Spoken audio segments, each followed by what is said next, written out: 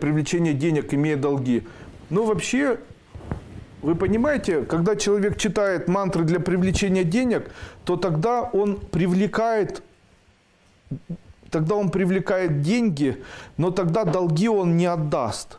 То есть нужно утром, допустим, читать мантры, которые связаны с тем, чтобы деньги отдать, а вечером тогда читать мантры, которые будут деньги привлекать. Потому что вечер – это время, когда приносится энергия, а утро – это время, когда отдается энергия.